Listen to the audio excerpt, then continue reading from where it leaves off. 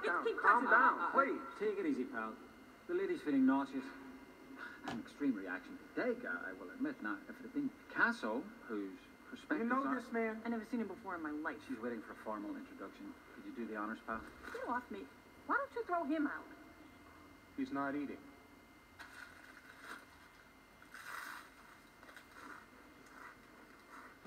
Outside, thank you very much. Have a nice day.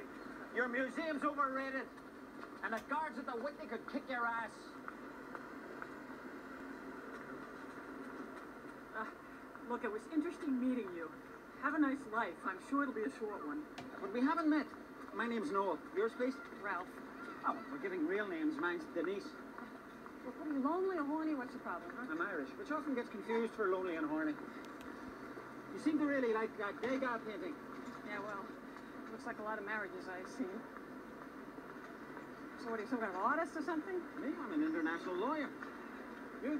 Brain surgeon. Mount Sinai? I remember you from right after the accident. You're the one that said I didn't need that cerebral cortex. That was me.